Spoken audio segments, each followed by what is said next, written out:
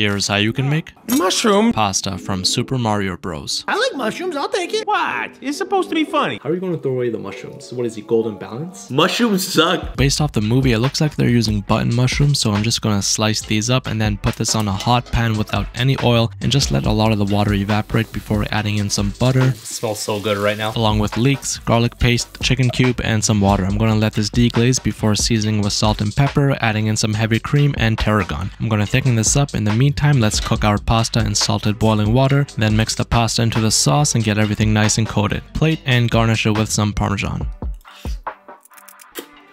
Mushrooms and cream just go hand in hand. I don't know, I think Mario just needs to grow up a bit because in the future, I know he's going to be eating some mushrooms. So I'm giving this a solid 8.7 out of 10.